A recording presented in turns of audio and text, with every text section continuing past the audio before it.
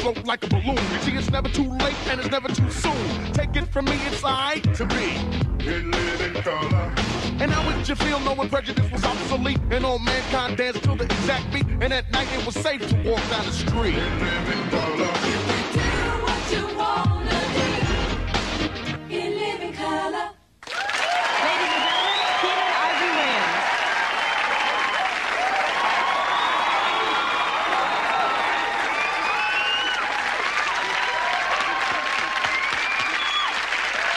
Thank you.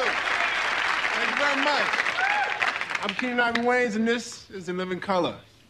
Good to be here tonight. Good to have you all here. Before we get started, I want to know why you up there. she I know like Sean. she just couldn't get, wanna be with she Sean. couldn't get the dance number down, so. okay, well, say hello to DJ and one of my fly girls, Carrie Ann and SW1. We'll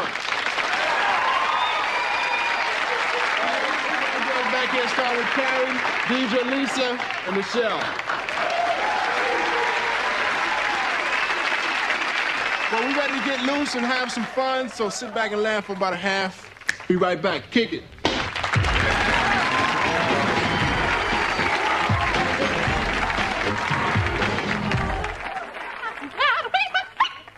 And wake up!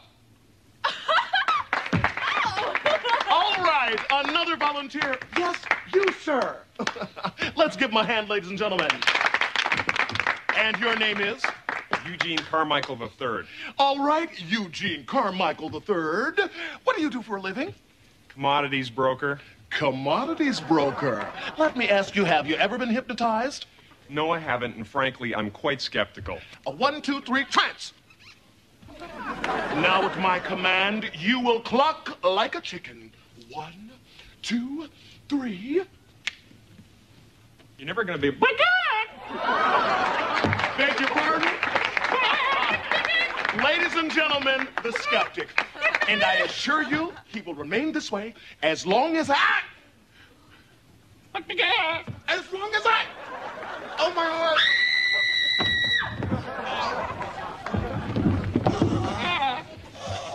He's not breathing. Call an ambulance, quick. Oh my God.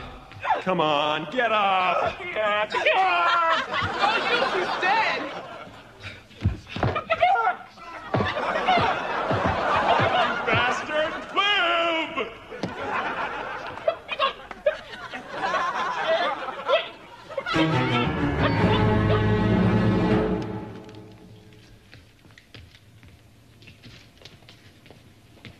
Welcome to Nothing But Burgers. May I help you? All right. Now, just concentrate. Put the money on the counter, look her in the eye, and concentrate.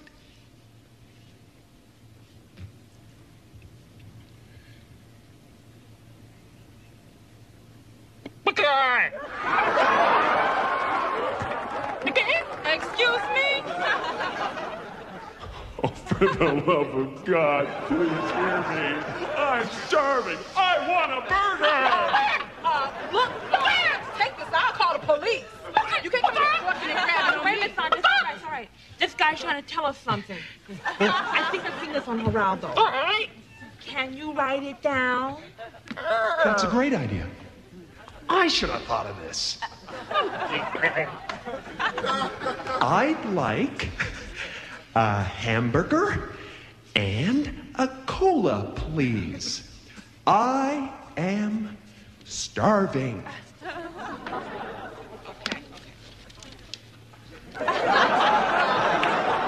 I- I'm sorry, I can't read that chicken scratch. Oh, please. Please. The night Clark acted when arrived was a departure point for a long descent to a place stranger than nightmares, a place crueler than hell. He's entered a place called the vortex of fear.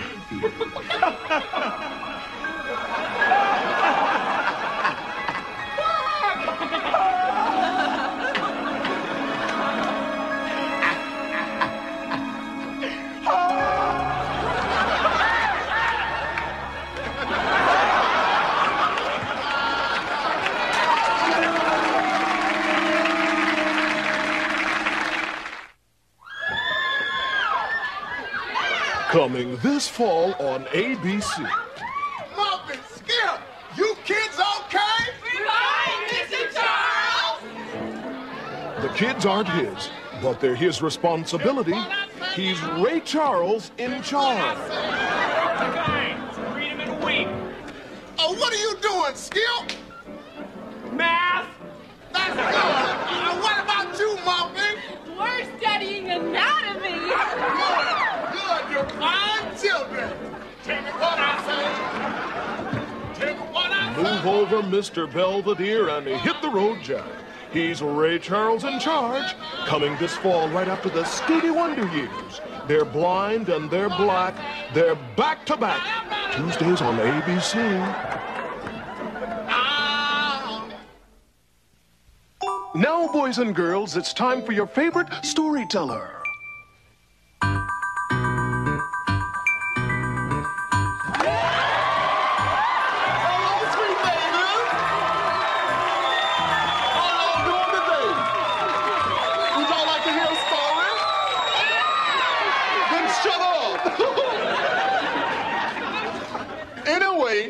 Tonight's story is Cinderella.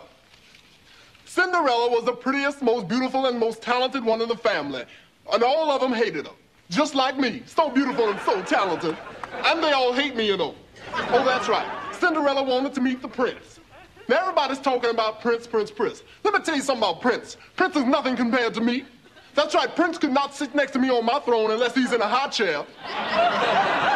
That's right, I've seen him, that little tiny man, posing naked on a horse, trying to cover up with one hand.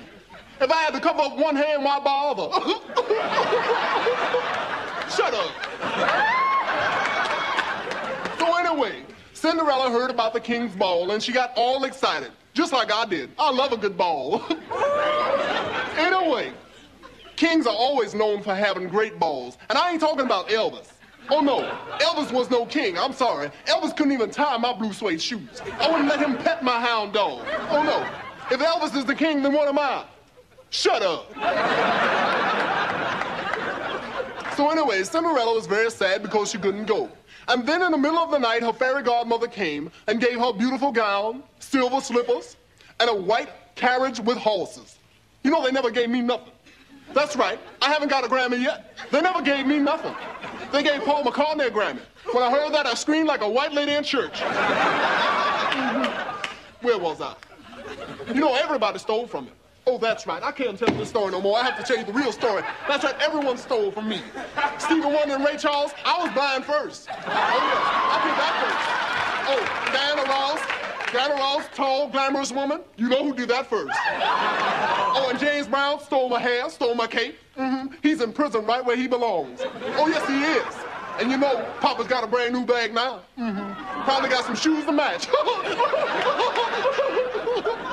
Shut up. Anyway, that's all the time we have for Little Richard's Playhouse. I'll see you next week. Bye-bye, sweet baby.